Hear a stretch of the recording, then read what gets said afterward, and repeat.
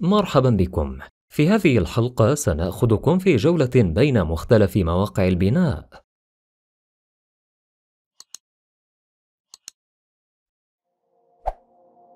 سلام من الله عليكم متابعي قناة هل تعلم من الواضح أنه قضى حياته في تأدية هذا العمل.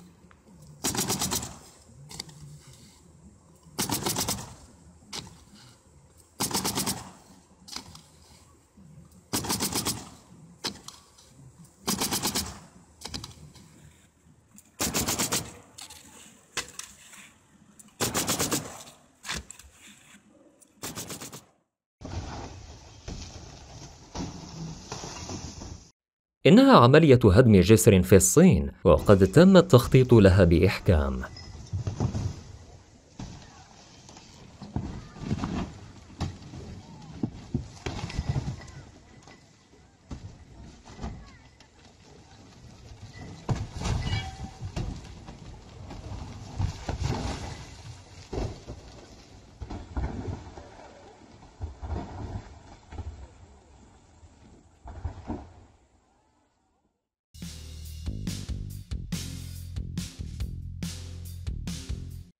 يتم استخدام تلك الكرات البلاستيكية للتخفيف من وزن السقف وكذلك للتقليل من تكاليف الإنشاء. يمكن لكيلوغرام واحد من البلاستيك تعويض 100 كيلوغرام من الخرسانة، لكن هذه الطريقة تستخدم في الأسقف الأخيرة من المبنى فقط.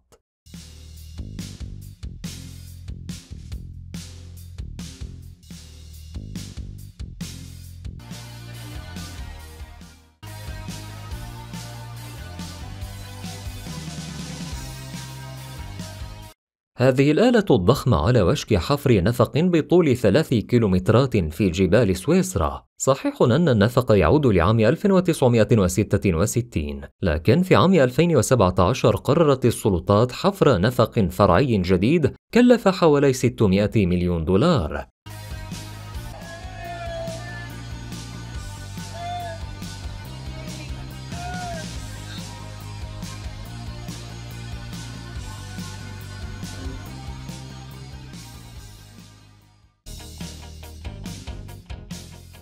نعتقد أنها نفس الرافعة التي تم استخدامها لتشييد الأهرامات.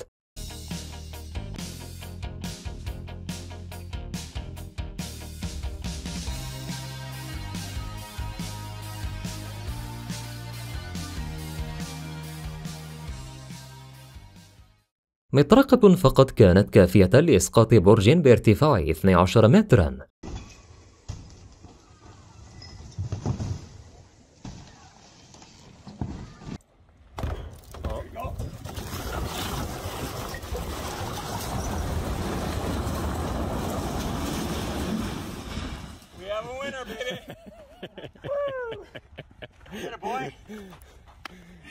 Nice job. nice job. Nice job. I like the turn. You turn on a dime, you were out of there.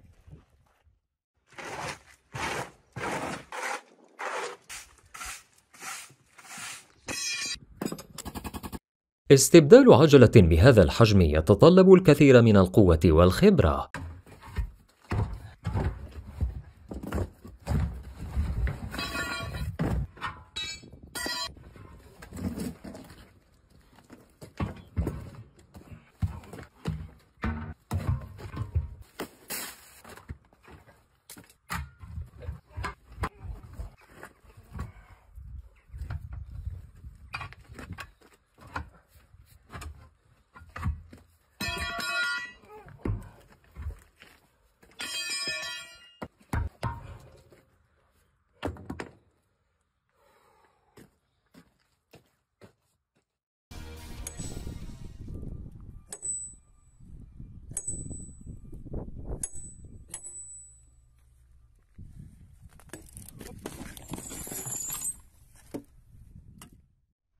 يصعب تصديق أن شخصا واحدا شطر هذه الصخرة إلى جزئين.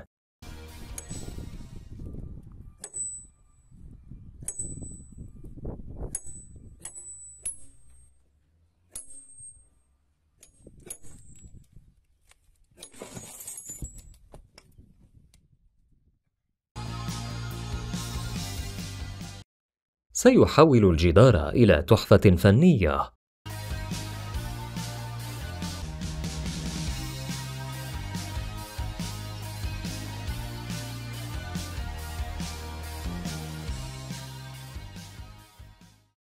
لقد ابتكر أداة لتقسيم هذا الشريط بالتساوي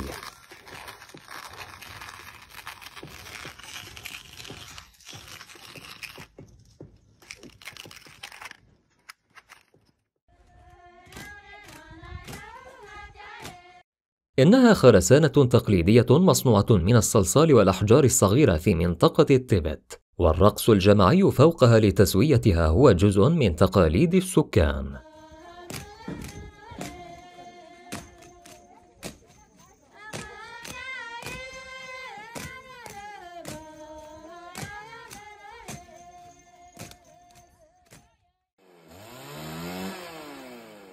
هكذا تم تحويل المنشار الكهربائي إلى آلة تقطيع.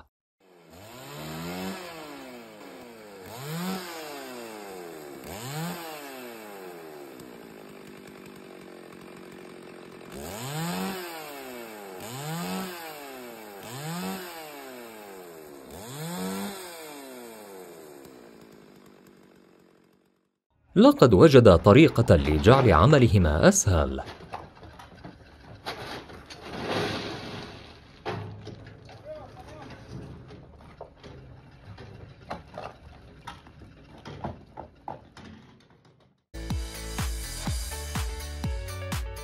كانت مهمة صعبة لكنه أنجزها بإتقان.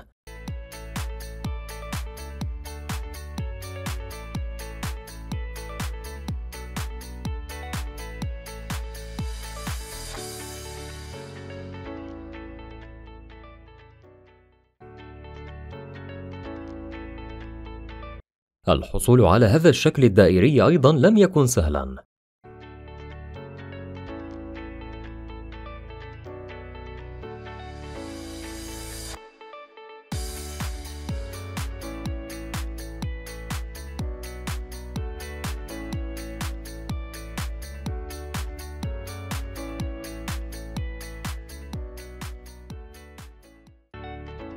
يقدم لنا هذا الرجل عرضا ناريا أثناء تغطية السقف بمادة عازلة.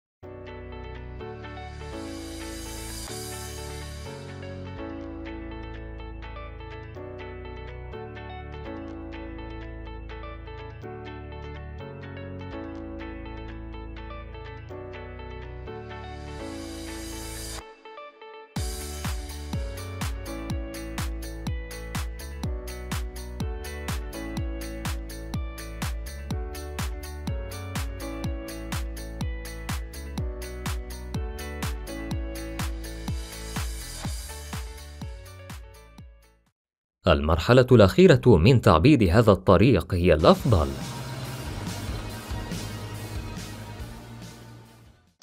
يعطينا هؤلاء مثالا جيدا عن العمل الجماعي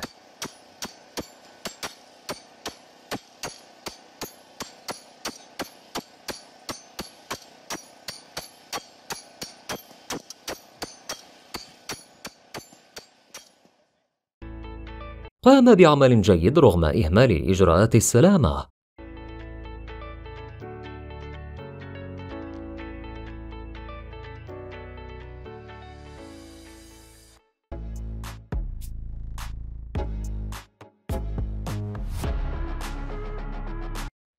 السمك الأدنى للسقف الخرساني هو 15 سنتيمترا. أما السقف الخرساني الذي ترونه الآن والذي تم تطويره من طرف مجموعة من الباحثين في جامعة زيورخ فيصل متوسط سمكه إلى 5 سنتيمترات. وهو يتغير ما بين 3 سنتيمترات عند المناطق الجانبية و12 سنتيمترا في المناطق المركزية. هذا النوع من الأسقف الذي يعتمد على شبكة دعم مصنوعة من معادن خفيفة. يخفض تكاليف البناء ويفسح مجالا أكبر للإبداع أمام المهندسين المعماريين.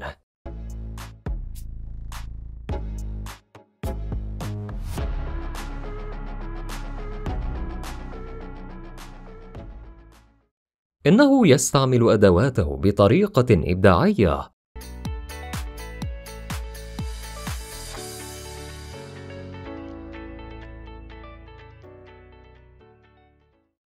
غياب أدوات القياس ليس مشكلة بالنسبة للعمال المحترفين.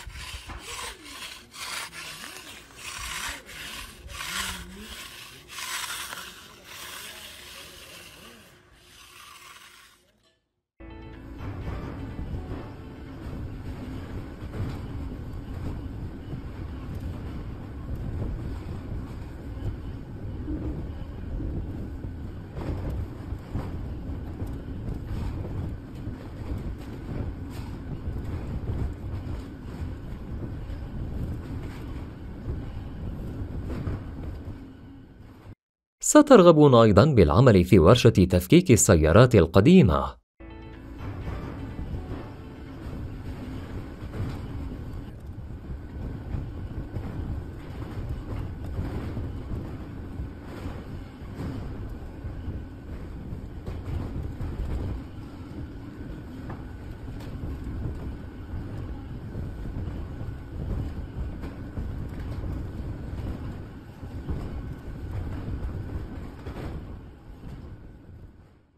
تلك العربة جعلت العمل أسهل.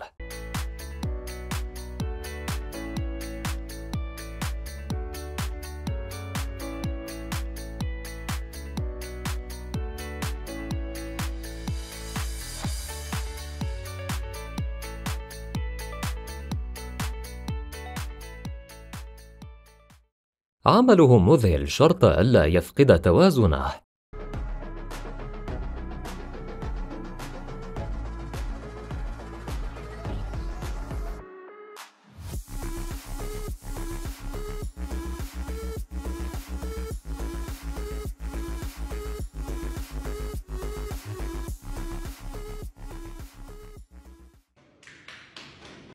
حول الجدار إلى تحفة فنية بيديه العاريتين.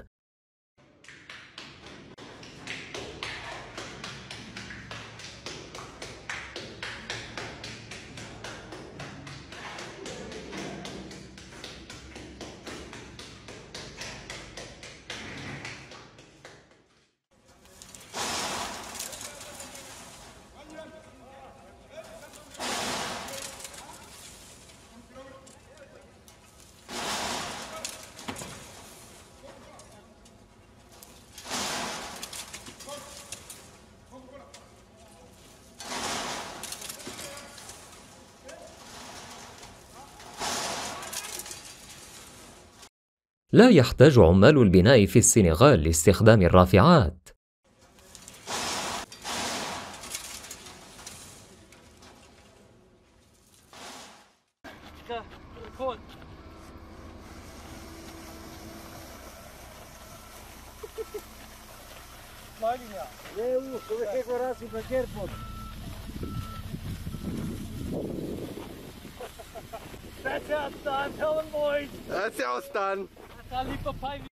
كان العمل الجماعي ضروريا لإنجاز العمل بإتقان.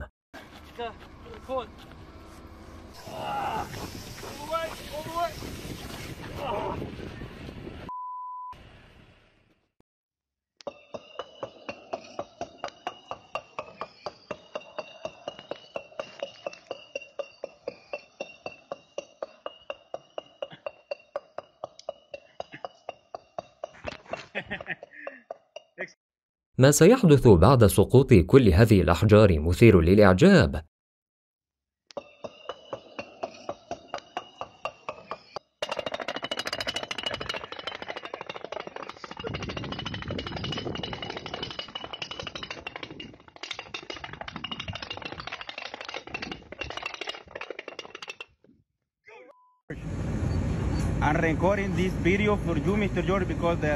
إنه كسول لكنه ذكي.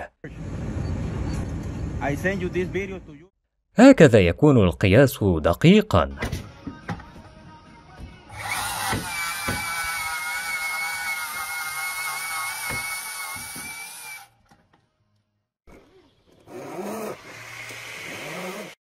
ثلاث كرات جعلت لف ذلك السلك الفولاذي سهلا.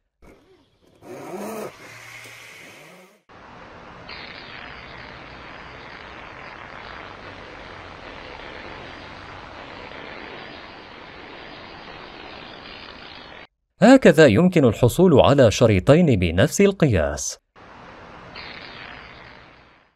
ابتكر طريقة جديدة لتنظيف القناة المائية.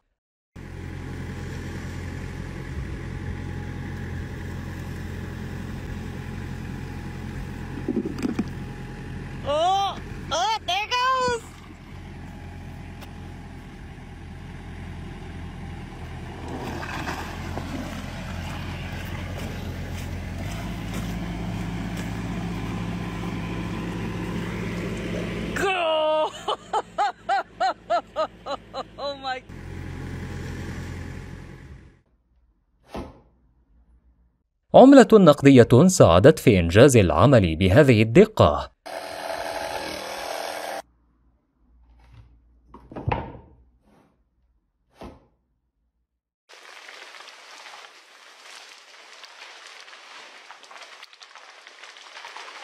أسقط هذا الرجل 55 شجرة دفعة واحدة.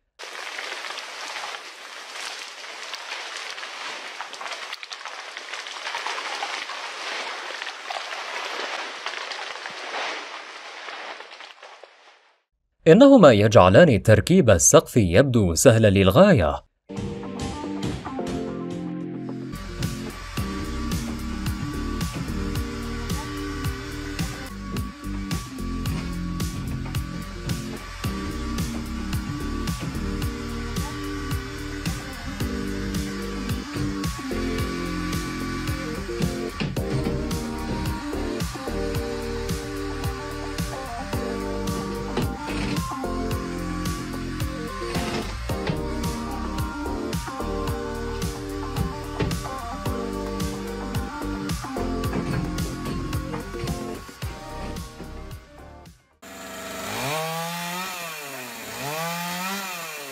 تم تطوير المنشار الكهربائي بنجاح.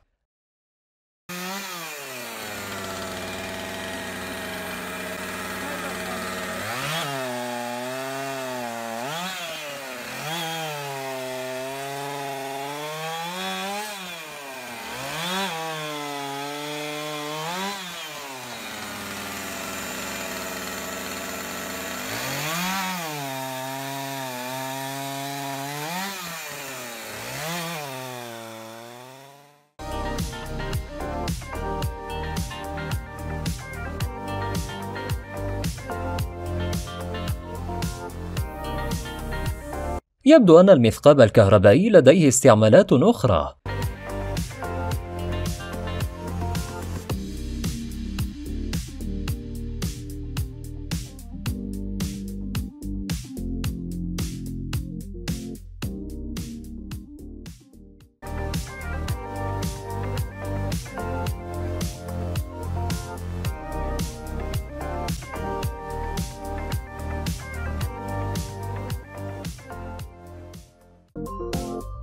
يتم استخدام المغناطيس لتوجيه الأسلاك عبر السقف.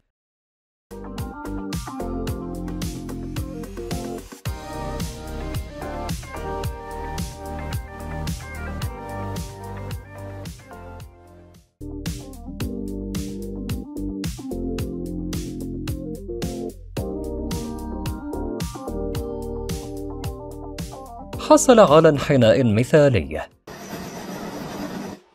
إنه محترف في مجال فرش الأرضيات.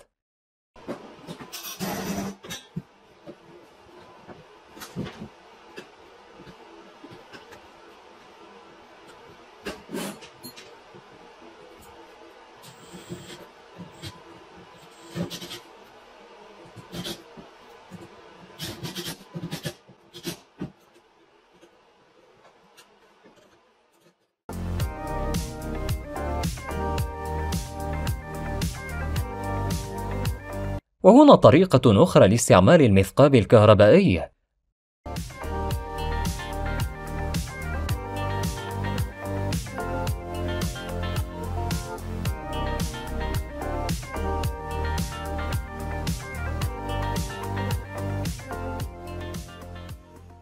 تقطيع صفيحة فولاذية بطول 6 أمتار دون توقف يتطلب بعض العمل الجماعي.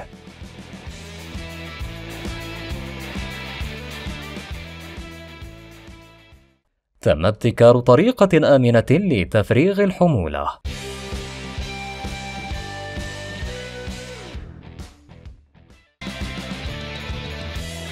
المثقاب الكهربائي يدهشنا مرة أخرى.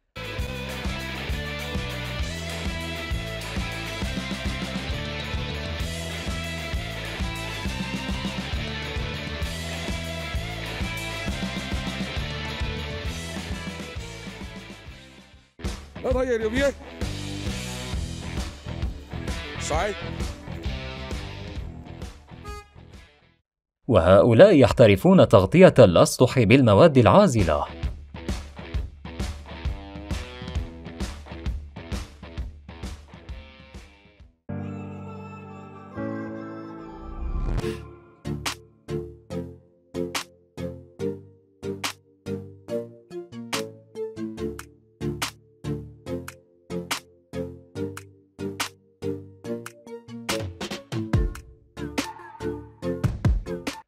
كل ما في الأمر هو أن الطلاء الأحمر لا يصل إلى النقوش البيضاء على الجدران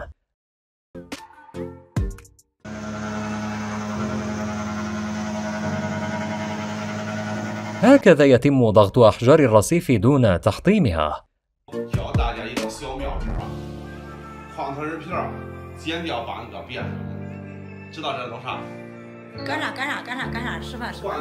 أداة منزلية الصنع لتغيير المصابيح.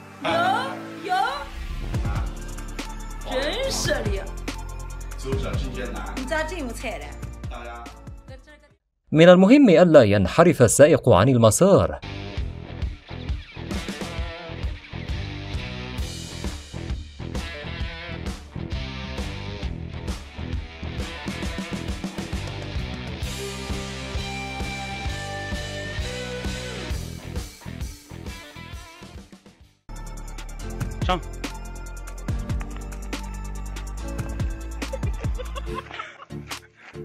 وهنا لدينا رافعة منزلية الصنع.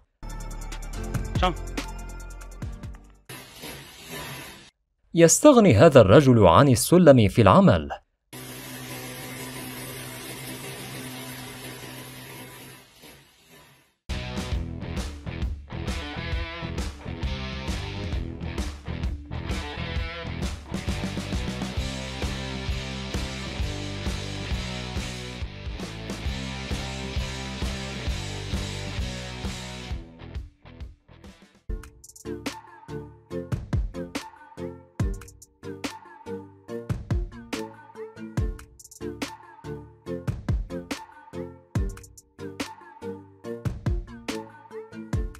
لقد صنع أداة بسيطة تحمل أحجار بناء.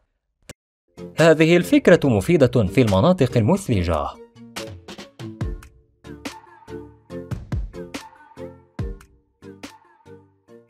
تبدو فكرة جيدة لاستغلال العجلات القديمة.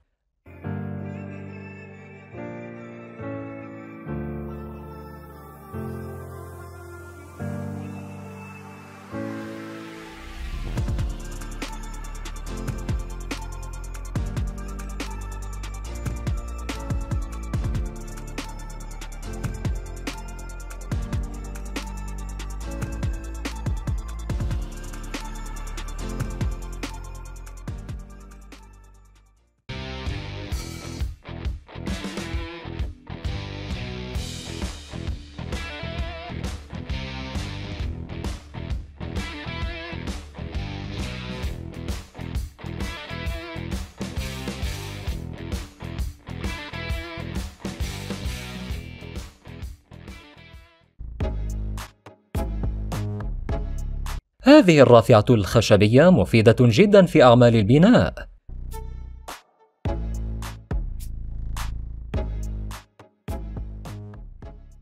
نعتقد أن عامل النظافة يتقن بعض فنون القتال.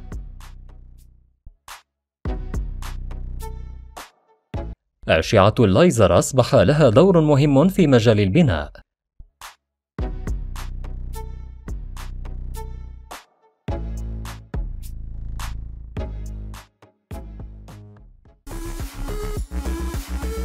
هكذا يمكنك الحصول على ممر جميل أمام منزلك.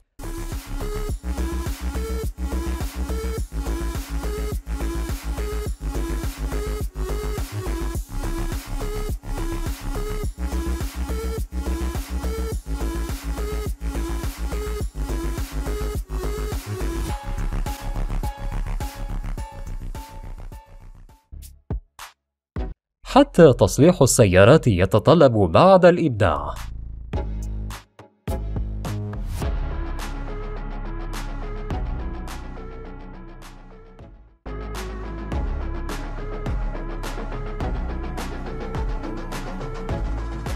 بهذه الطريقة يحافظ على مسافة ثابتة بين الخشبات.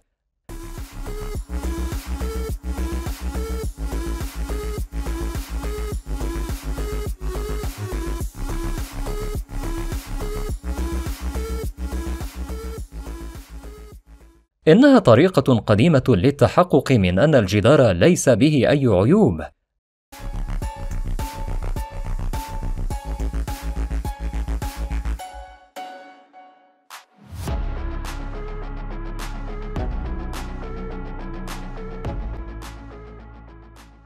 المثقاب الكهربائي يمكن استخدامه لرفع الأغراض الثقيلة أيضًا.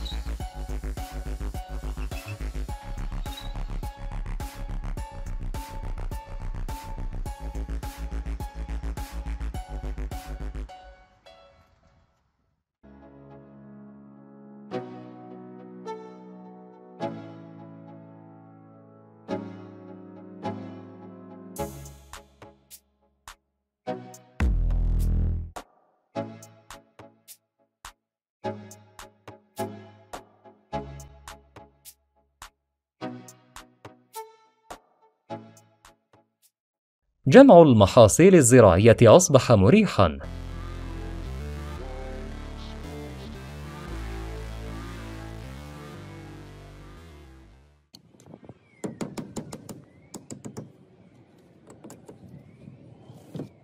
مسمار واحد جعل تحريك تلك الصفيحة سهلاً.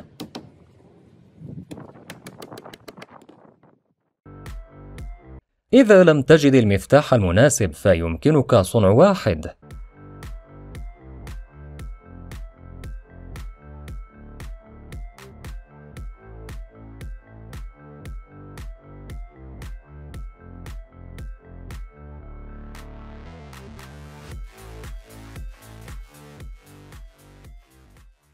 تعامل الجميع لوضع تلك الدعامة الفولاذية في مكانها بهدوء.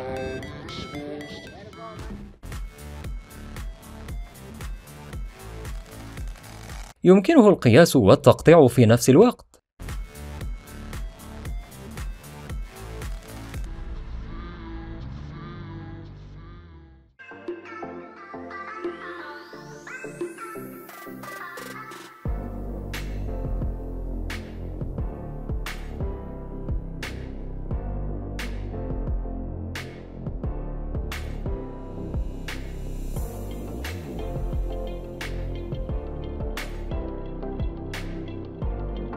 إنها أسهل طريقة للف الأسلاك الطويلة.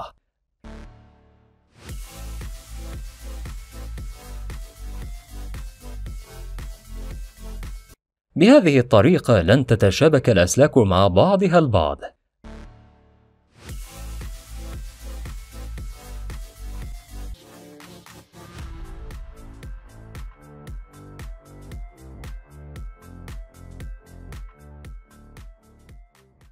ساعدته تلك العصا على شد الخيط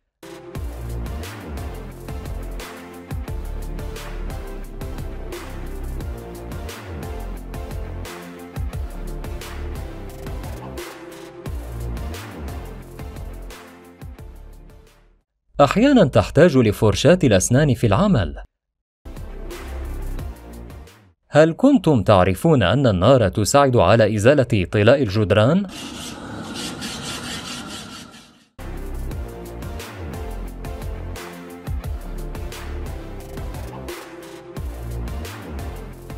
الآن تعلمتم طريقة سهلة لفتح مدخل قناة الصرف.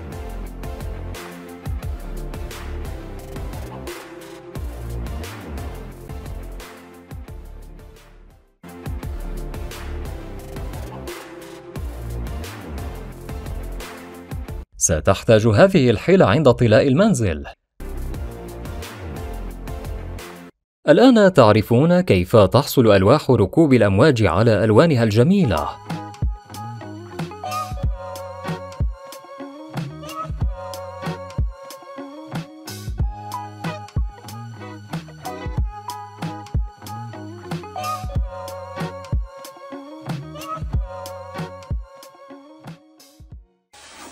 حتى تنظيف الشاحنة يمكن أن يكون مثيرا للاهتمام.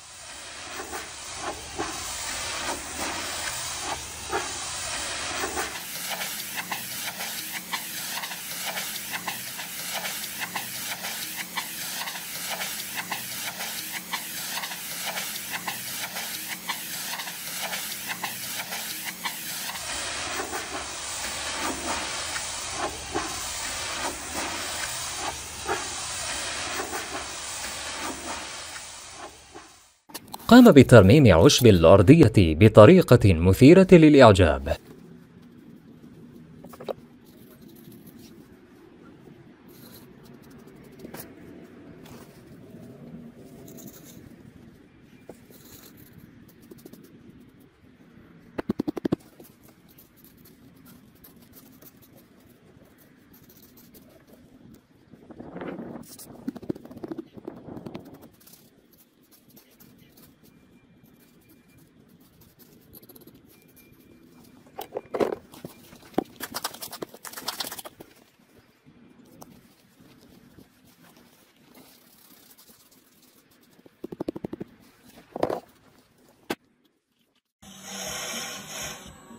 يتم نحت الخشب بدقة وبدون أخطاء.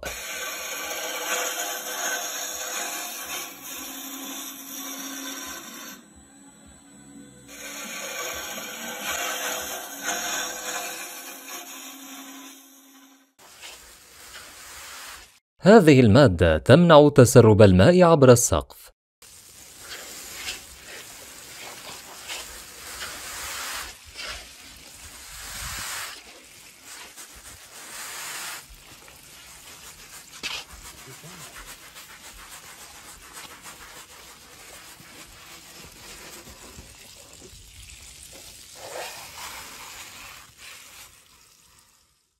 هذا العمل اليدوي سينال إعجاب عشاق الصناعة التقليدية. إنه يصنع حزاما جلديا جميلا وبجودة عالية.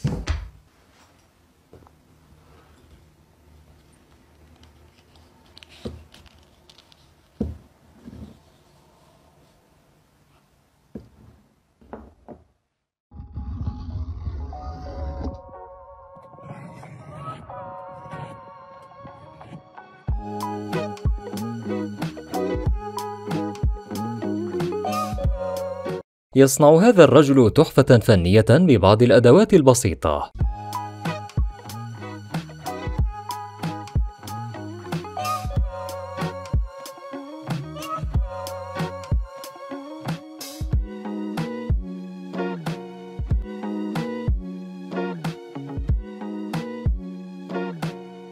إنه أجمل سيرج حصان قد ترونه.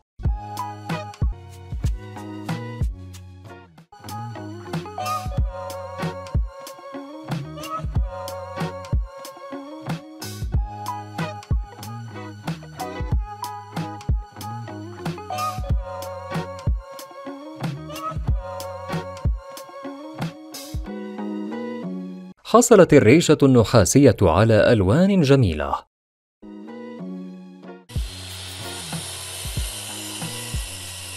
تقنية التقطيع التي يعتمد عليها مذهلة.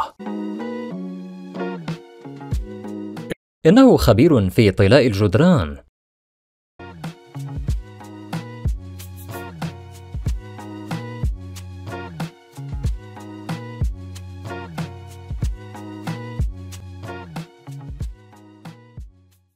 وكأن السقف مصنوع من أحجار البناء.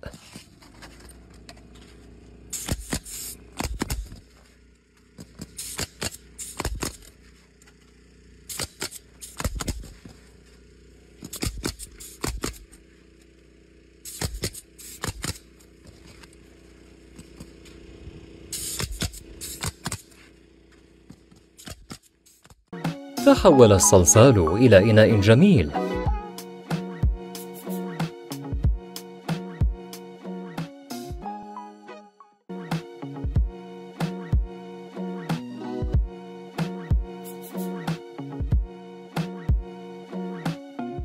تنظيف الزجاج ليس صعبا كما كنا نعتقد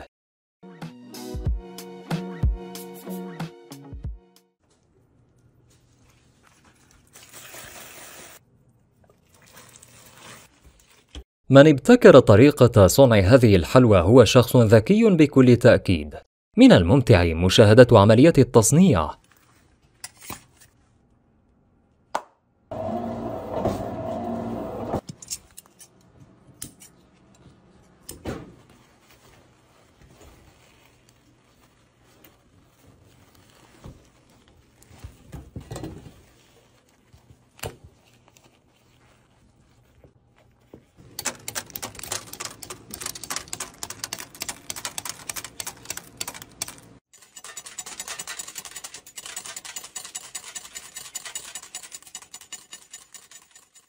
من الواضح أنه يعمل في مجال البناء منذ وقت طويل.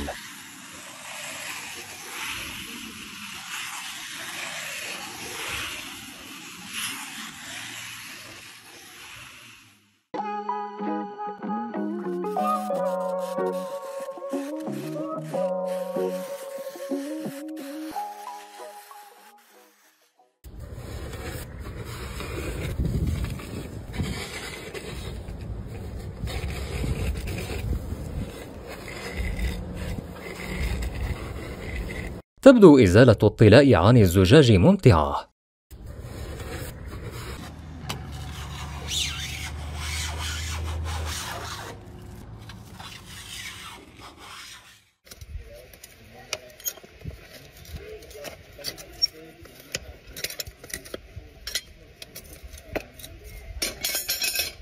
على الفارس أن يحرص على رعاية حصانه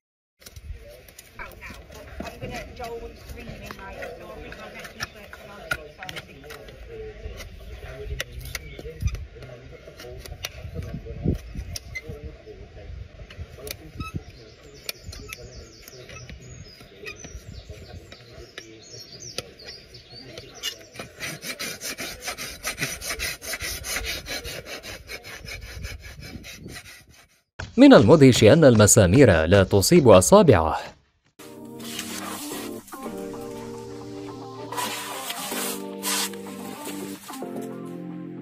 يسوي هذا الشاب الخشب باستعمال المسحل الذي صنعه بنفسه.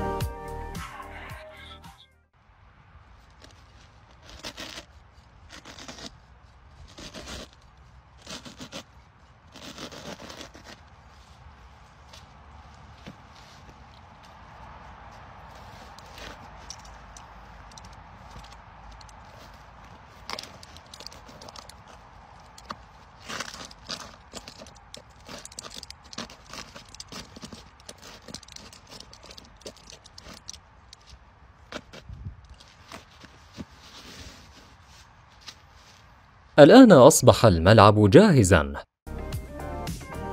هكذا يؤدي عامل البناء المحترف عمله.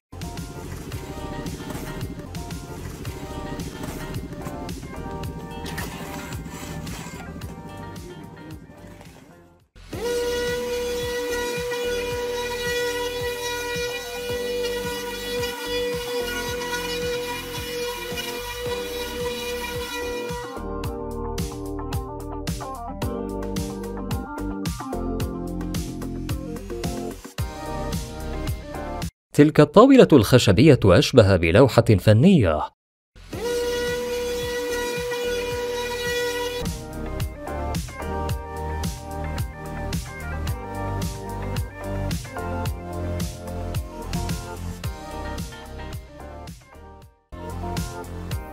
حركة مستقيمة ونتيجة مثالية.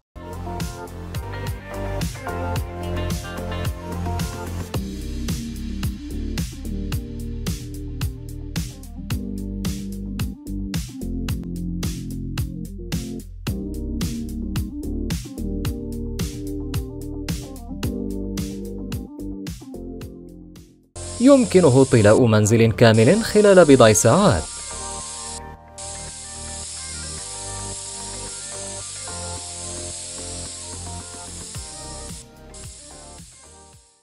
تعرفون الآن سر لمعان الأرضية في ملعب كرة السلة.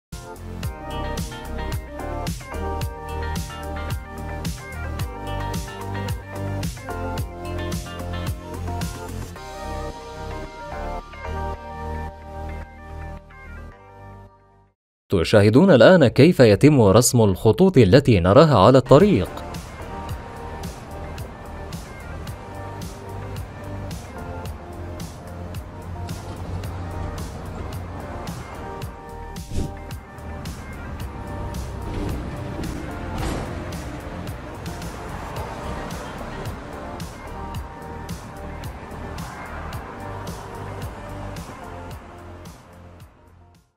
بإمكانه تنظيف واجهة المصعد خلال رحلة واحدة.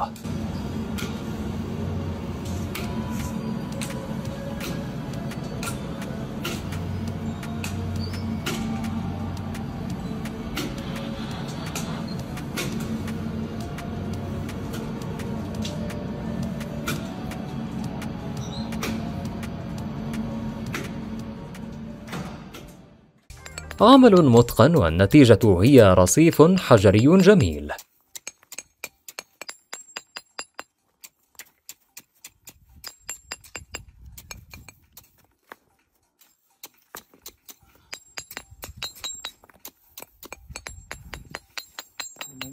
experimentar, ¿no?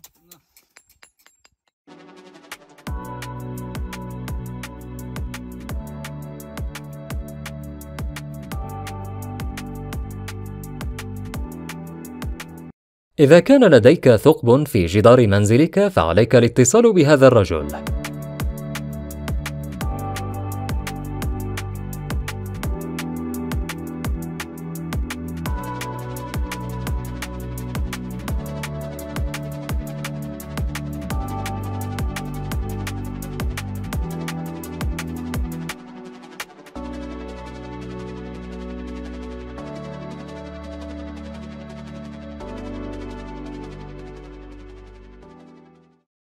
نعتقد أن من يقوم بتقليم الأشجار ماهر في الحلاقة أيضاً.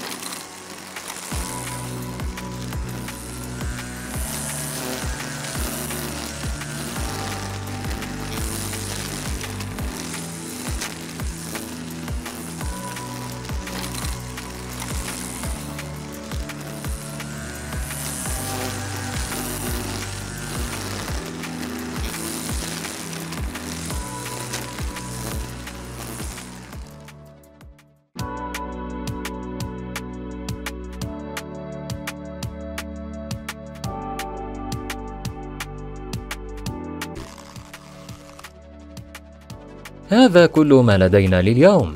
نراكم في حلقة أخرى. دمتم في أمان الله.